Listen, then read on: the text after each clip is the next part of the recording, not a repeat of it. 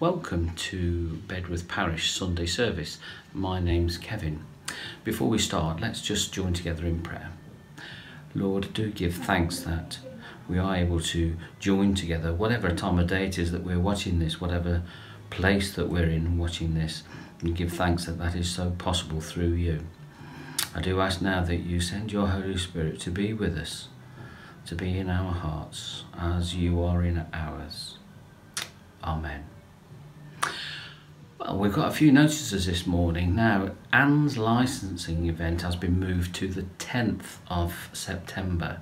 Now, there is a clash there because it's Dave Morris's birthday too. So I don't know where we're going to go with that. Perhaps we'll have one big party or something like that. Uh, on a more serious note, though, COVID 19 does appear to be high in our area, so I would ask that you just take those extra precautions if need be. Do stay, say, stay safe.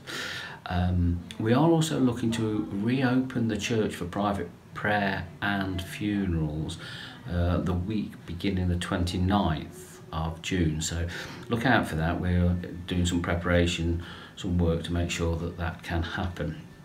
Uh, and lastly, on the notices, is uh, a note from the food bank, Bedworth Food Bank. Uh, they are running short, so if you can supply any of these items, please do drop them off at the Life Church. I've got a list of some, so I'm going to just read them. So it's helpful if they do get the the uh, food that they actually do want. So particularly, they're looking for rice pudding, custard, jam, squash, tinned carrots, tinned ravioli, tinned spaghetti bolognese. And so you can drop those off at the Life Church between 9 and 2.30, except on a Friday when it closes at 12 o'clock. So let's get on with the start of our worship. We are going to sing our first worship song, Shout to the Lord.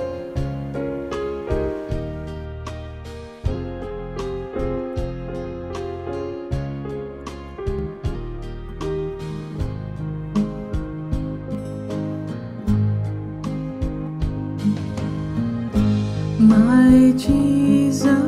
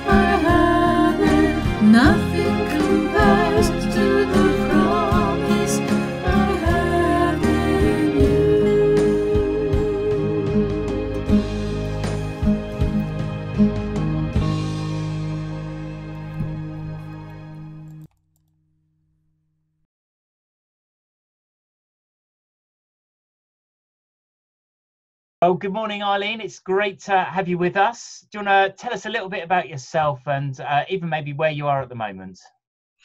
Okay, morning, Dave. Um, my name's Eileen, and I've been a member at Bedworth Church for 40 years. Um, my daughter's now 43, and uh, she was just a little little mite when I joined Bedworth Church. And uh, yes, um, I I worked in social services for 37 years, and then I did a little bit of time with charities. And my field has always been children and families. So that's i trained as a nursery nurse and then did social work training. So that's that's that's my background and my love. And um, i'm now a widow. I was widowed coming up two years in august so uh, i'm very much on my own and um, my daughter lives in norwich. So i transmute no that's not the word but anyway you know what i mean. Move between uh, a little chalet i've got in cromer and bedworth so that i can be near her and that's where i am at the moment. Great. So i'm imagining like us all covid has affected your life. Do you want to just share a little bit about what how it's affected you personally and yeah um yes i it has affected me i think in lots of ways, it's affected me in a good way because the um, the period of being a widow has had more impact in a way than COVID. So it was a great shock when I lost my husband because I didn't know he was ill until three weeks before he died.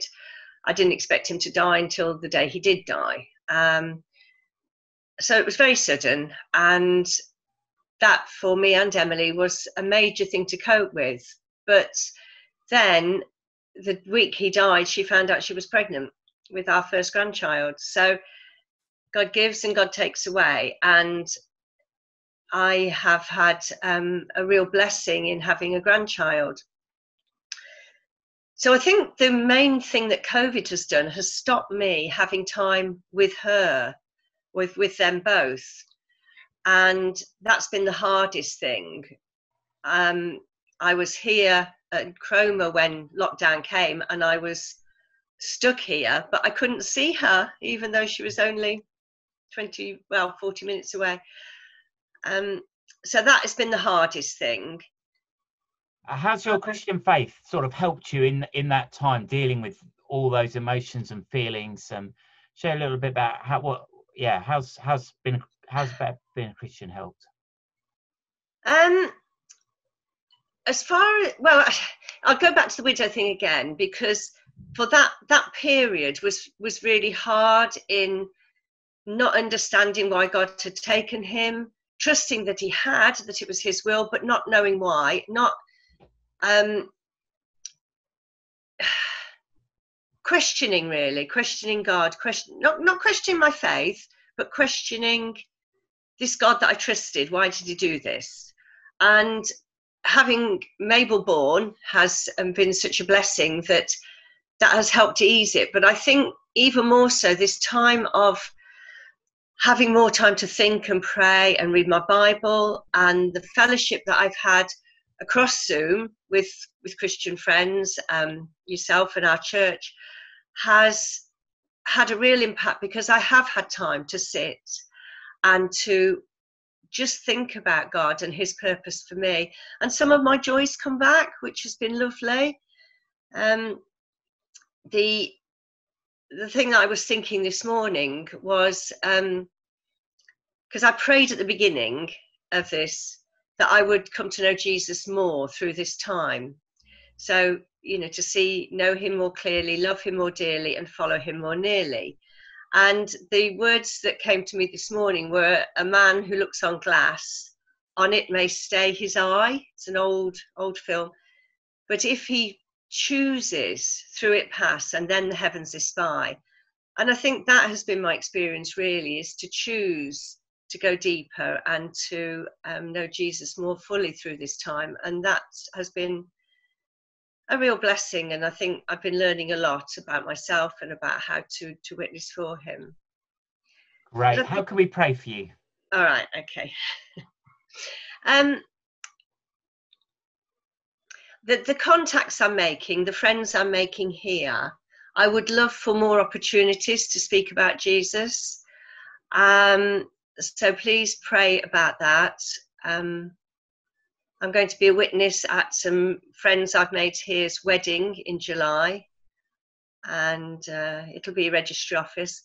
But you know that to witness to them would be wonderful. Um, and you continue to pray um, for my family, my uh, daughter and her partner, and um, yes, just journeys to faith for everybody, really. Yeah, and the wonderful, beautiful Mabel as well, of course. So. Yeah. Blessings. Thank you so much for taking the time to join us and be uh, interviewed or grilled or anything else. It's so kind of you.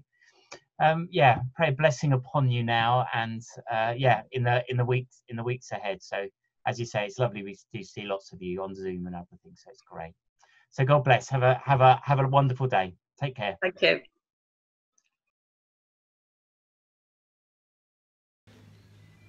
It's now time for Lucy to bring us our Bible reading, followed by Maggi, who will be talking about blessings through obedience, based on a chapter of this book. Very good book. I've read it, and please, if you would like to borrow it, get in touch with me. Also, Maggi and John do a study group on a Wednesday evening around this book. If you'd like to join, details are on the pew sheet. Over to you, Lucy. Sapphira. Now, a man named Ananias, together with his wife Sapphira, also sold a piece of property. With his wife's full knowledge, he kept back part of the money for himself, but bought the rest and put it at the apostles' feet. Then Peter said, Ananias, how is it that Satan has so filled your heart that you have lied to the Holy Spirit and you have kept yourself some of the money you received from the, from the, for the land? Didn't it belong to you before it was sold? And after it was sold, wasn't the money at your disposal? What made you think of doing such a thing?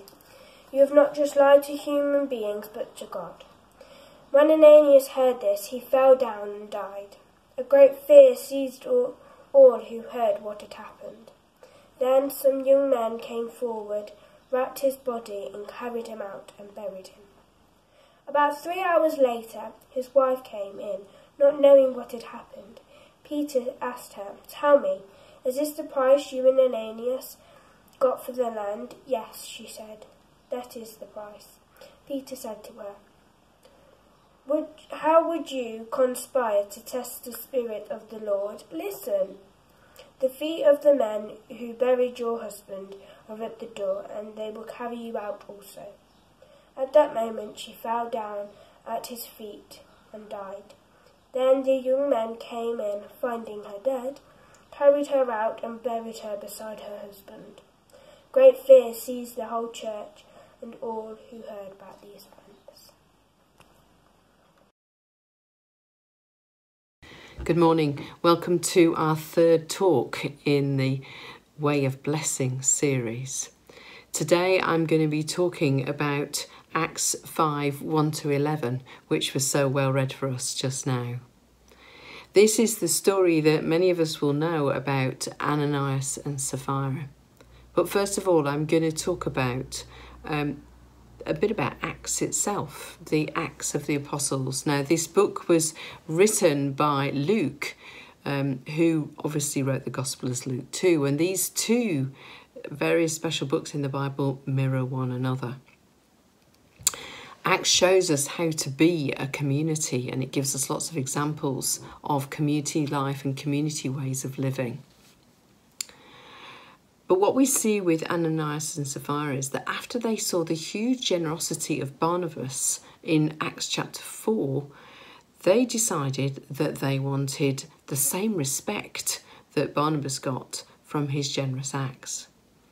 The sharing of possessions in the early church is something that is a really good example for us today. It wasn't a form of uh, early Christian socialism, but there was a sense that people wanted to share the goods that they had. Where they really messed up, Ananias and Sapphira, was not in the selling of the field. It was perfectly okay to sell the field. It was perfectly okay for them to just give a portion. But the problem was, even though they could have done whatever they wanted with the money, they lied. And lying was where the judgment came from. They could have sacrificially given all of it or sacrificially given some of it. But actually, what the ancient Greek word we see in this in this passage is is one that means misappropriation. And we get lots of stories in our world about misappropriation of funds, so we know um, how badly that is seen now, and probably even worse then. Money and his distribution, as we see in our world today, is actually the touchstone of society. And it, in many ways, it's an issue that sets people apart or gets them excited. So, today, based on the book The Way of Blessing by Roy Godwin and Dave Roberts, is I'm going to talk about two themes that are spoken about in that book um, and also come through very much in this issue in Acts chapter 5. It's about being shaped by simplicity and about remembering the poor. Shaped by simplicity. We need to be shaped by this. We don't own things, we steward things for God. And I think that in the society that we live in, where goods and shopping um, are huge issues, um, it's a very difficult thing to grasp. I heard a story yesterday that in as the shops opened for the first time yesterday, that that was Monday, that there was a two and a half mile queue to get into Primark. We've only been in lockdown for 12 weeks. It feels a lot longer than that. In 12 weeks, do people really need new clothes? They may if they have growing children, but is this just shopping, not simplicity? But you know too what it's like as a Christian. You hear a call, you get excited. We need, a new this or a new music mission or a new building or a new extension. And we think, oh yeah, great, I could give this great big chunk of money that I've just got spare. And you say, yeah, yeah, God, I'm going to do this. But then overnight you think about it. You think about the impact on your holidays. You think about the impact on your home, your family, the next new thing you want to buy and you think, oh, maybe I don't need to give all of that. And we think of ways to get out of it. And that's in a way what happened to Ananias and Sapphira. They agreed to give it all, but secretly they held it back. And they both end up dead. And it's a harsh judgment. They're not given any chance to explain or make amends. They just fall down dead. They die because of their greed. And this is the issue as Christians we need to watch out for. It was a free will offering. It's no different to what we take up during our Sunday services or give through the collection or through our uh, online giving. No one needed to know what the proportion was. But as I said, they lied. And Peter sees through them and he actually challenges them and he says, Why has Satan filled your heart in this way to lie? And it's not about lying to the apostles or even to themselves, it's about direct sin, direct lying to God. So that's a challenge for us about living a simple life. And the last bit of the talk I'm going to mention is the issue of remembering the poor. God is a generous God and He calls us to be like Him. The church has the fund for the poor in Acts 4, and we can't go give away everything to every cause. I'm a runner, and there are always charities and people to sponsor and races to fund different causes, but you can't give to everything. But what we can do is we can budget. We can have a pot of money that we sit on the kitchen top that we can put our spare bits and bobs in. We can use our time to serve the poor. We could also live fairly. I'm somebody who has Apple um, products through my work, and I often wonder whether I should be using a Fairphone instead. It's a challenge to me. So, what do we do in terms of application? We think we need, we need to think what we're keeping back from God, what we're not sharing with our church and our community. We need to value being entrusted as stewards with what God has given us. So, here are a few challenges. Look at your annual income and work out what proportion of it you can give to God. And can you do it differently? Instead of in an envelope or on the plate, can you do it through the online giving service that is provided? Set aside an amount each month and give. Maybe give an extra one off gift to a mission agency. Think about your giving regularly in terms of time as well as money. Maybe, um, for those of us that are growing older, think about leaving a bequest to the church in your will. Something that you feel you can give after you've put aside enough money for your family. So, here are a few challenges. Let's think about how we can use our money and our time in ways that will bless the church. This is the challenge. Let's bless each other through simplicity, through love, through money, but also through positive comments and encouragements.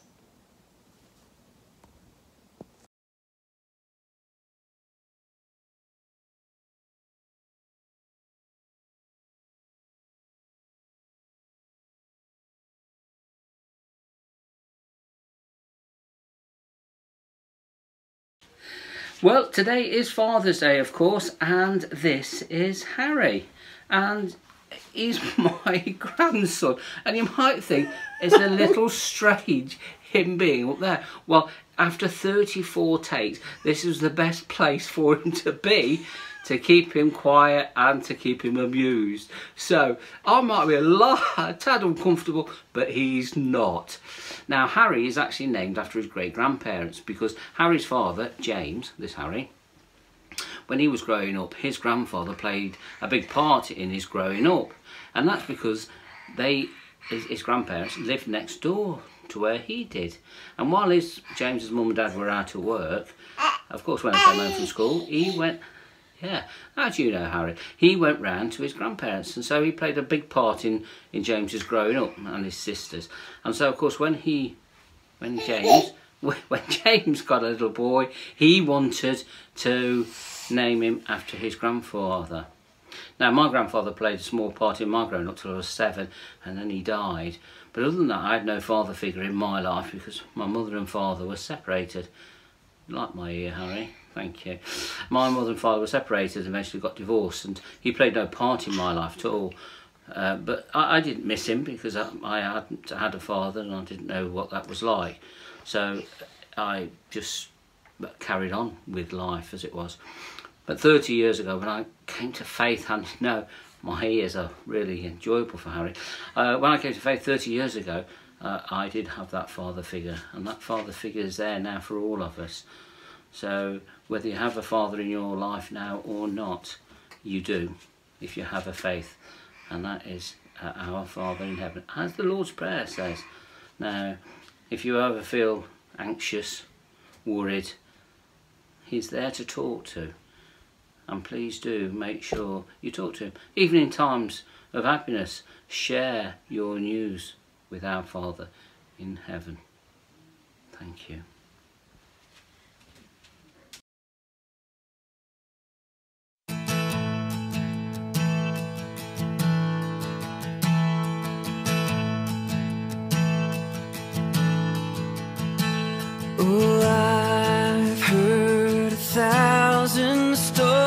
Of what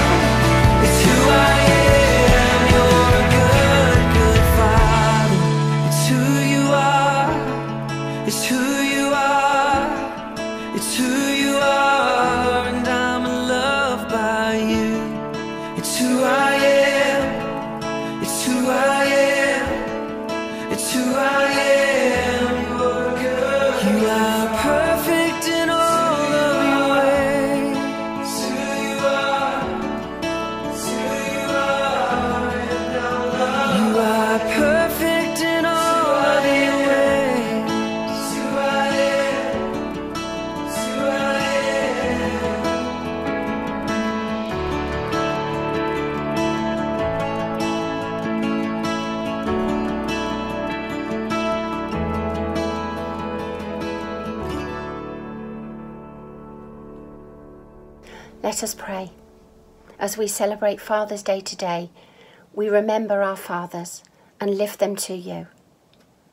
But Lord, we lift to you those who fill the gap when fathers are not around. We remember foster dads, adoptive dads, the men who step up and be dad when others are not available, those who are separated today because of COVID 19 for families who find themselves distanced and alone. Father to the fatherless, may we feel your love, your joy, your peace, and your hope as we move forward. As the restrictions of lockdown are lifted slowly, may we not be in a hurry to attempt to go back to the old normal Help us to value the time that we have had with our families, reconnecting with people from our past, building on relationships. And Lord, help us not to lose the value of the time we've had with you. Sustain us in our relationships, sustain our families, and sustain our relationship with you. As we pray for the wider world, let us not be complicit with the injustice we see by our silence.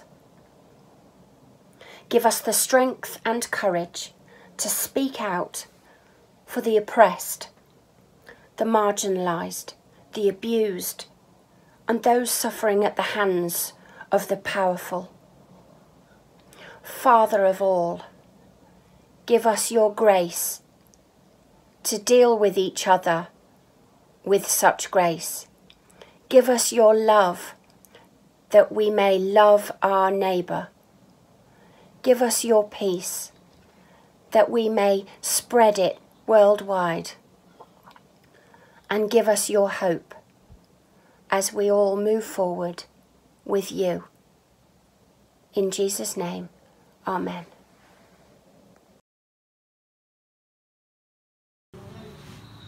Well, thank you to everybody that has contributed today. Please remember to stay safe. Remember, COVID is high in our area, so do stay safe and well. Now, there is further worship after this ends, so if you would like to, please do stop and listen to that and join in. But we'll close now, for now, with a prayer. Lord, we do give thanks that we have been able to join together in your worship. We are joined together remotely uh, and in different places and at different times, but through you we are joined together. Thank you for that. Thank you for being there to support us always in our times of need, in our times of joy, in our times of anguish. Lord, continue to be there to support us. We thank you. Amen.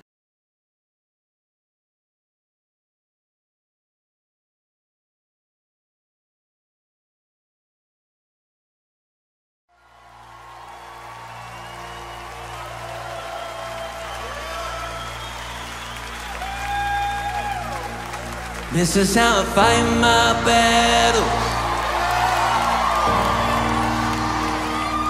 This is how I fight my battles. This is how I fight my battles. This is how I fight my battles. That's what we're doing tonight. It may look like I'm surrounded, but I'm surrounded by you. It may look like I'm surrounded, but I'm surrounded by you. It may look like I'm surrounded, but I'm surrounded by you. It may look like I'm surrounded, but I'm surrounded by you. This is how I fight my battles.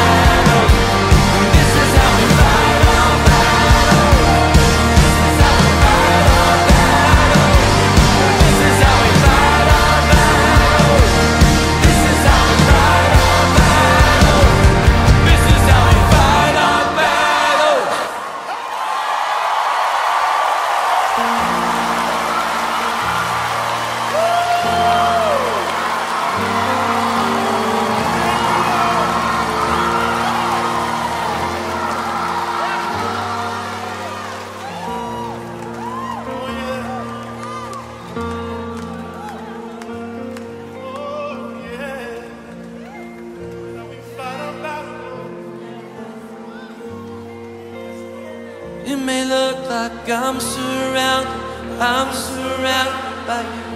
Oh, it may look like Oh yeah, it may look like I'm surrounded, but I'm surrounded by you. It only looks like it. It may look like I'm surrounded, but I'm surrounded by you. This is how we fight our battles. This is how we fight our battles. This is how we fight our battles. This is how we fight